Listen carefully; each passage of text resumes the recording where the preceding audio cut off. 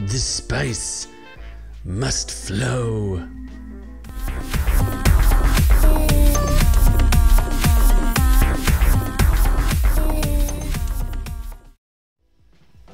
Ah, friends. So I wasn't even sure 100% how I was going to do this review.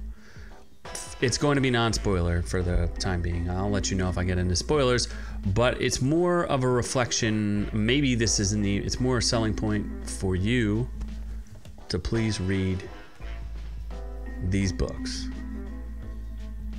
I have another one here too. there are six Frank Herbert books that I highly recommend. I know books are old fashioned, but uh, if you can tell from my well worn copy of the original Dune, what, what, what years is this copy from? I think it's from 1965. I could be wrong. It's beat up, so it's it's not really worth anything. But this is the the the subject. How do you film the unfilmable film? How do you do it? And that is a question that Denis Villeneuve seems to have answered in part because we only got one part. Uh, good news, two parts have been greenlit, or at least the second half of the first book. So this this chunko, this chungus of a book here, we got through half of it, folks we did it to get enough for a second one. Barely. In the US, it only did about 40 million its first weekend. Granted, it was released on HBO Max. It was the best movie for Warner Brothers since the pandemic. It, it beat out um, King Kong versus Godzilla. So, just to give you a little bit of context as to why they probably are making the second one, the budget is also not that big. It's 165, which is smaller than you know certain Marvel movies and things like that. So for for a movie like this, it's, it's actually I think it actually did pretty good. It had done like 210, 220 I think worldwide, maybe 240. Either way, you know the point is, it's a really old book. Uh, the author's been been passed for a long time, and in, in my opinion, this is one of the most I've never seen a screenplay be so like th- this thing was such a hardcore dedication to the book. I don't think I've ever seen anything like it. I've seen like maybe since Lord of the Rings, the extended cut, have I seen something that tried to match the book so closely, almost slavishly to a point where it, it was uh, to its own detriment. It did that. I think this you know audiences are are interested in, in, complex characters but we'll go through some of the characters but when you get one or two scenes for them you're you're really going to struggle to have emotional attachment to some of them but i think overall the acting was superb. The visual effects were something like i've like just never seen. They were just so awesome so great. Um, even Christopher Nolan himself said that he's never seen uh, CGI, practical and visual effects crafted together so well that he he's never seen anything like it. So he had nothing but positive things to say for it. So I think when the community at large and and it's it's it's it's really hard too because it's a hard sci-fi movie. Like this is like hardcore sci-fi. It's unknown worlds, things that people aren't familiar with. So I could see why the audience would struggle with it. There's also a lot of characters, and the movie itself doesn't do like as much justice to the characters as you would think. I mean, it gives like base level motivations for certain people, but you, you would have liked to explore those relationships a little bit more. Although I will say, on some level, the book does do the same thing. there are a lot of characters moving in and out of this. So I can't really fault the director. I, would like to point out a couple things that I thought were extremely telling uh, about just how closely they they worked on getting the book. I mean, every scene, every look from every character meant something else. And I thought that's why the acting was superb because clearly they were directed to do that. I don't know that all of them were like masterful. I mean, I've read these things like probably six times each, right? I don't think anybody on that cast read these books as heavily as some other people. So when you have scenes with um, with different characters doing things, like I feel like everything was intentional in order to capture the book as closely as possible. Now they edited, uh, you know, they cut out a bunch of stuff for time. Some of it I'm I'm okay with. Some of it I was like, eh, I wish I could have seen that.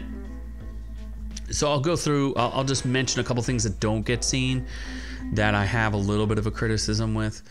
Uh, you don't get to see the Emperor or the High Court. Those characters are very important in the long run. So when you get a payoff with them, it's going to be hard to even comprehend where they're from or what they're doing.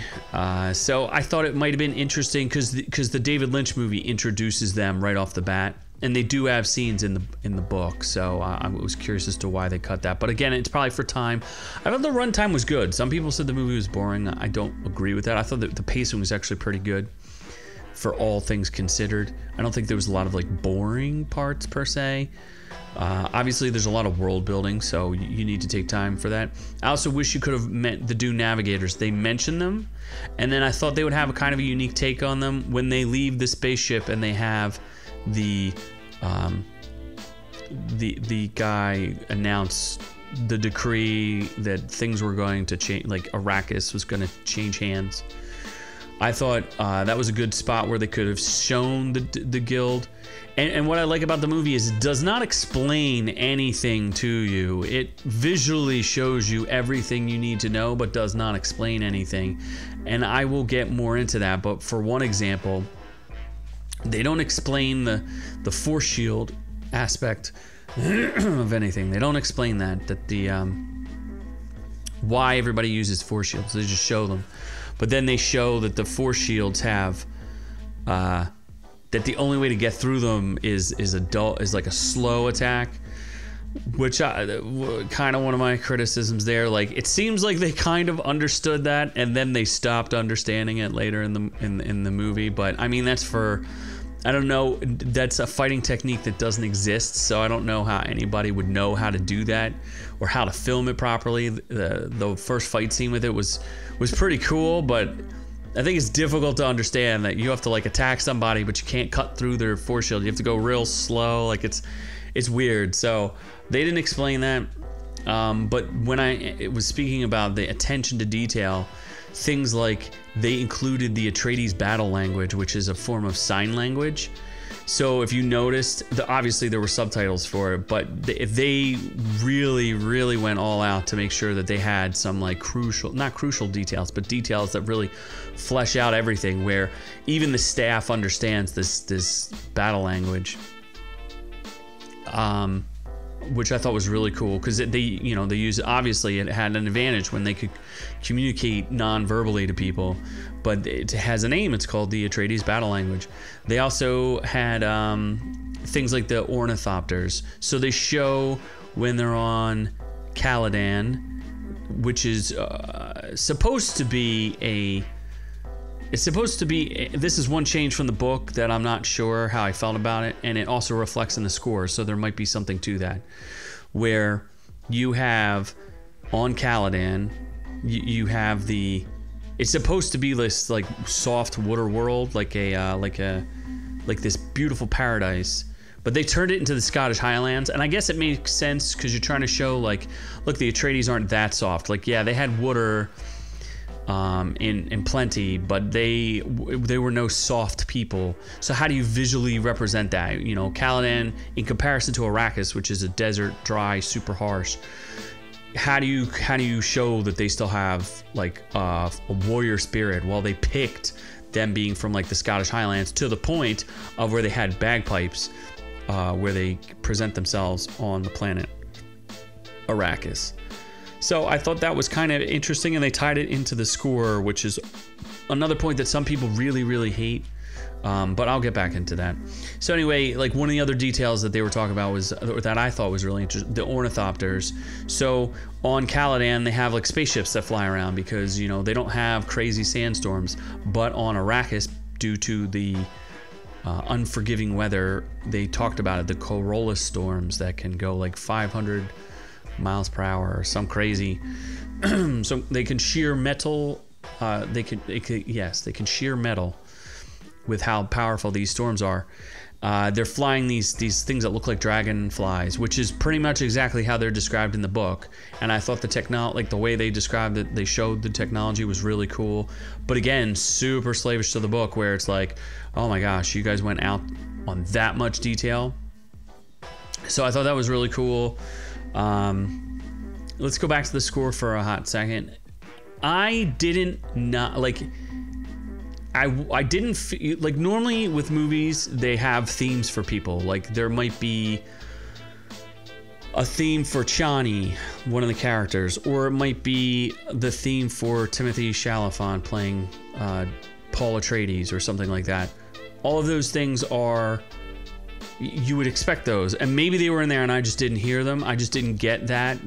But what you got was a very alien sounding soundtrack so a lot of people hate it, but I, I don't I didn't think it was bad. I did, just didn't think it was as memorable. I remember a lot of the kind of like weird alien sounding effects and things like that. Like it's not your typical sweeping orchestral anything.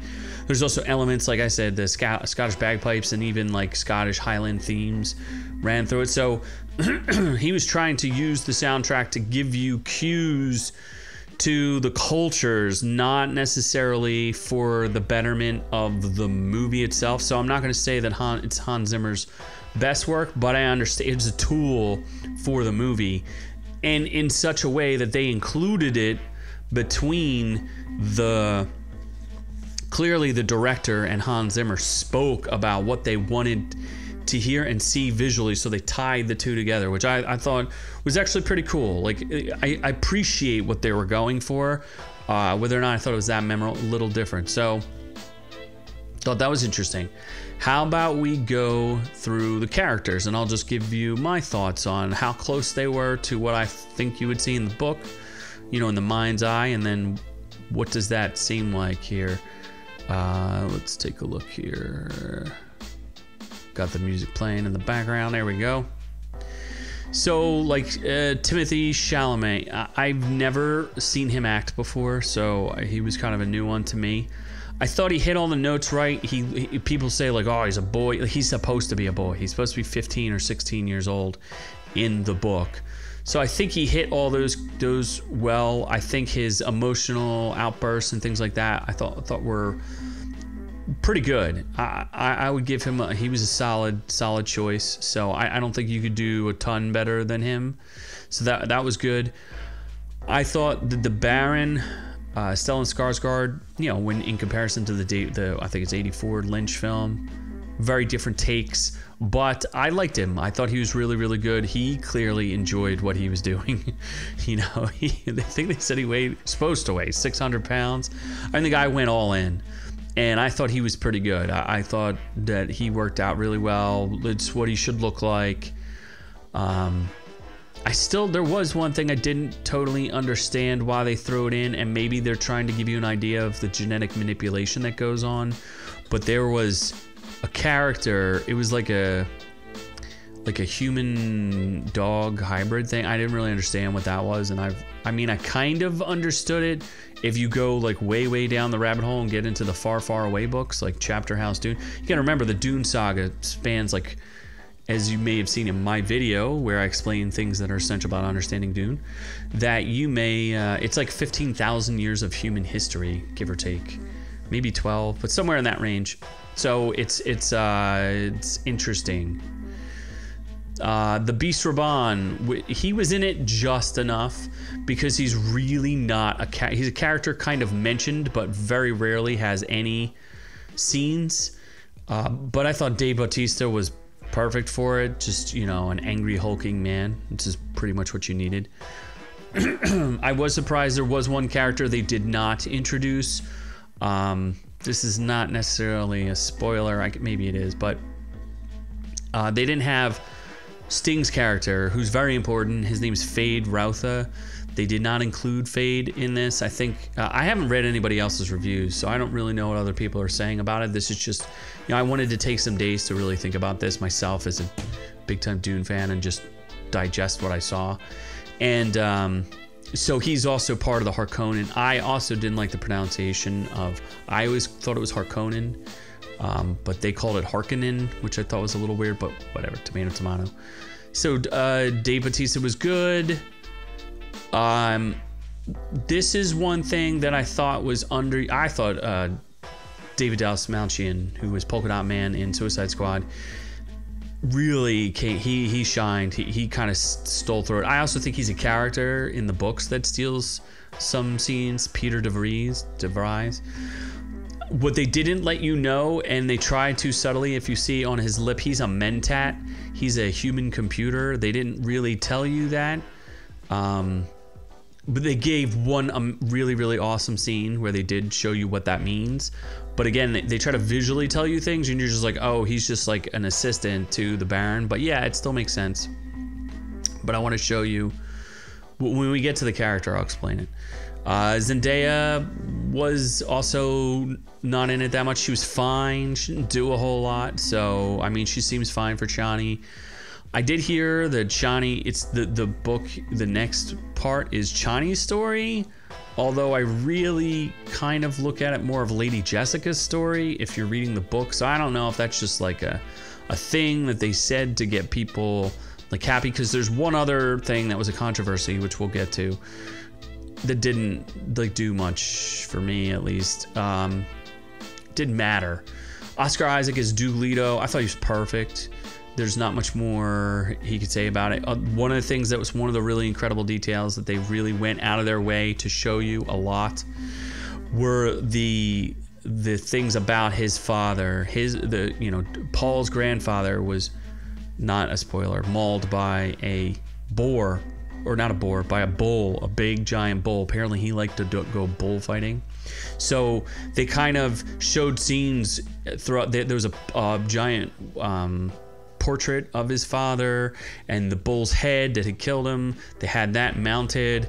and they, they really tied it in together and, and it's supposed to be something thematic that people were supposed to understand i don't know if they did a great job of it but it's kind of a pride thing in the family like it's a prideful streak. They kind of mention that there's something with the atreides but uh, either way oscar isaac did great. I thought i really enjoyed him. I think his casting was really good.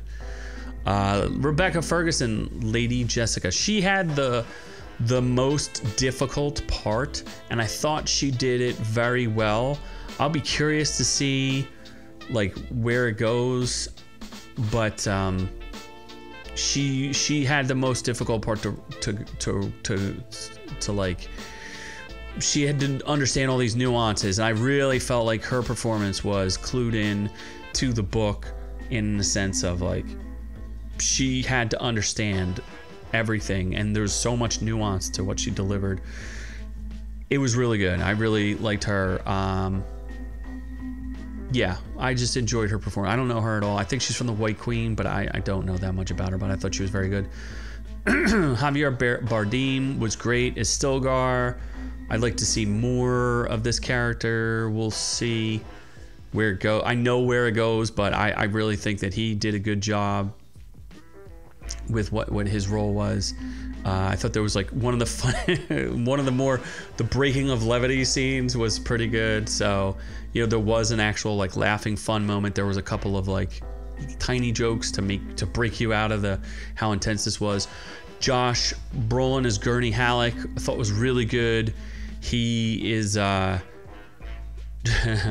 He's Patrick Stewart's counterpart in the David Lynch film and did the role exactly how he should. I thought he was really good. Um, Jason Momoa as Duncan Idaho. Now here's the wild card because a lot of people are making fun of the different hairstyles that he had. But he played it. He is the character that you're looking for. Like if you want somebody, and if you really, because because Denis Villeneuve had some interesting comments where he said this is just the beginning.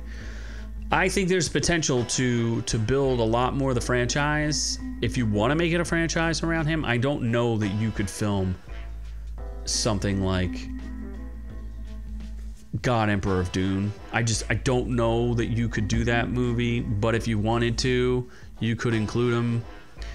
But it, it would be interesting to see how that all works out because things get a little wild. Like we talk about hardcore sci-fi, it gets real hardcore. the later you go in, it gets like almost unrecognized. Like it's out of control how deep it goes. But if you wanted to keep it going, and you wanted someone with some pull, uh, Jason Momoa will help you, I think. Um, but he was he was fine as his parts. Like he did fine. He did what you would expect him to do. Um, so I enjoyed him there. Uh, let's see. This uh, I thought this guy actually had some other scene stealing things, and I really liked him a lot. Uh, Stephen McKinley Henderson as Thufir Hawat. He is, uh, if you notice on his lip, he is also a mentat. And the cool part that they visually show you that he's calculating things, he like rolls his eyes up into the back of his head and they turn like all white so that he could do calculations for for the Duke. And while Piter, I don't think ever, I don't, I'm pretty sure he did never do that. He has the same skills. Uh, they don't explain any of that, why there's no machines. They don't go into any of that, why they don't have computers, why they're using like basic stuff. If you want a more spoilery, like in depth analysis of what's going on in the movie, I'd be happy to do one. Just let me know down in the comments because I'm trying to keep this as spoiler free as possible, and I'm already going a little bit longer than I usually would. Uh, here's the one controversy: uh, Liet, Sharon Duncan Brewster is Liet Kynes. Uh, while she was race and gender swapped, I didn't really care. It was fine. Like she did a fine job.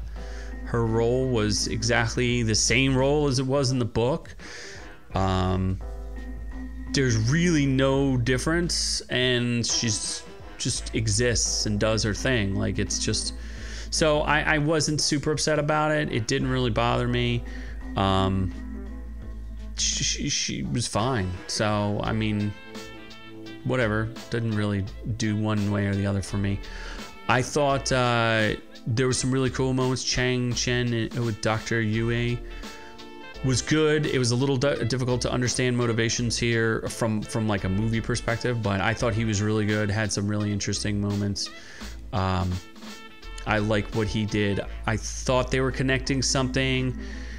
They showed something in it. Maybe you could look for this, and it's not really a spoiler, but they showed like they don't really explain necessarily the religions that are going on in this world. They in the movie, but there is like a version of the Bible that they use and they showed it in the movie and they didn't really explain what it was. I'm pretty sure it was Gun, uh, Gunny who was reading the Bible, but um, it's just interesting, like the amount, like I said, of detail that they throw in and where they chose to put the detail in or or pull it back. Uh, let's see. Charlotte Rampling is the Reverend Mother Mohiam. I th- I thought she was all right. I didn't get the sense of menace that I would have suspected from her. Um, but she was good. She she was it was interesting. I, I, thought that scene, which is a pretty interesting scene, wasn't my favorite depiction of that. But I guess they didn't want to copy the David Lynch one either, so they wanted to make it a little bit different.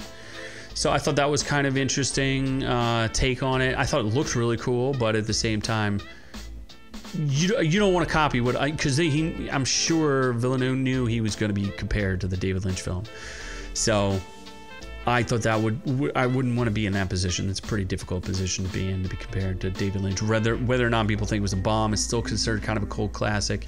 You know, you've got Patrick Stewart in it and a bunch of other actors uh, who are pretty famous. You've got Sting. Like, there's all sorts of famous people in there so overall i really i really enjoyed it. It was a uh, like a love letter in my, in my, mind to dune fans who've been looking for something. Like the david lynch one is good in my mind but also kind of like scattered and broken in parts.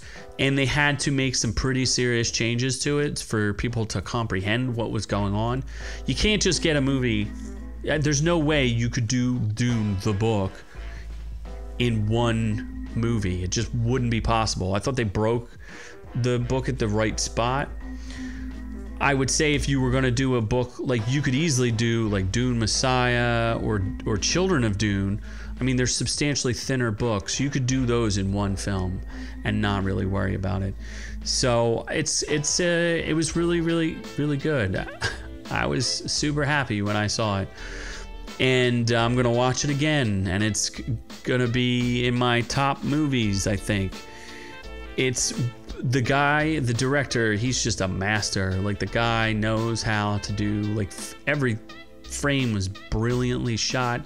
They're all beautiful, like works of art. Uh, the, the, scenes where he's showing how beautiful the spice can be in contrasting to how difficult it is to live on Arrakis and how people are complaining about it, how hard it is and how harsh the conditions are. But the people who live there find it to be beautiful at times. And the sandworm, I didn't even talk about the sandworms. I that interpretation was awesome. It was just, it was awesome, breathtaking. I wish I could have seen it in IMAX. I definitely wish I could have seen it in IMAX. I think it's one you should if you can. I highly, highly recommend it because you're going to get this blaring score and you're to get this like these super intense visuals and it's just like it's it's beautiful and brutal and all at the same time. I didn't think it, it's all it's kind of cool too because it's it wasn't very uh it's not particularly like scary or violent like or there's no bad language. Oh, that would be one big criticism that that I thought of that kind of took me out of the film just a tiny bit. Uh, Timothée Chalamet had two lines in the movie where he's like, he was trying to make it seem more natural, and it sounded like today's vernacular, so I didn't really like it. He goes, at one point, he just says to his mother, Are you good?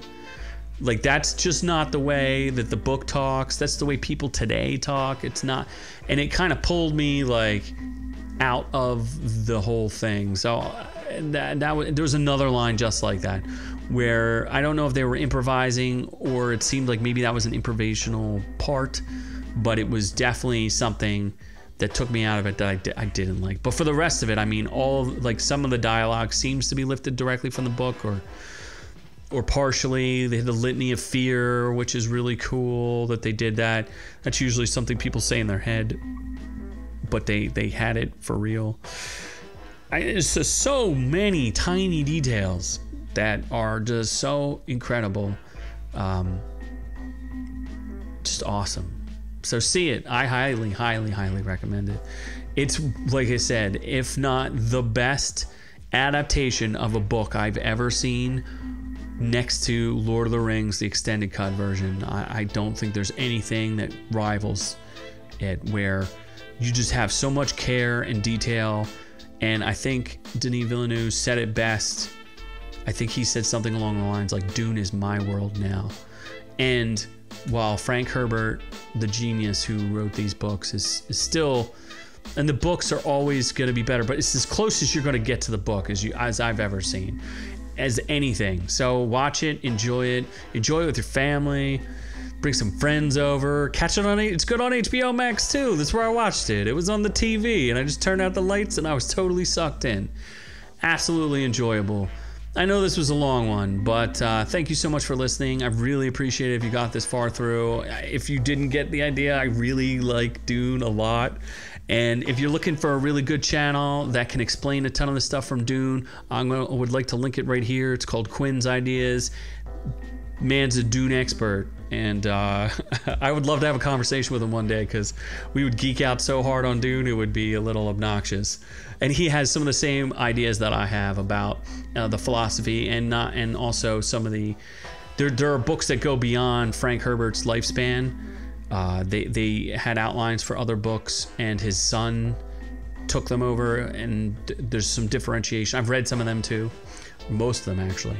So anyway, um, if you like what you heard today, please like and subscribe. I hope we earned your subscription today. I hope you enjoyed this review. I try to keep it as spoiler free as possible. I think I did. I might have only slipped up a little teeny tiny tiny bit.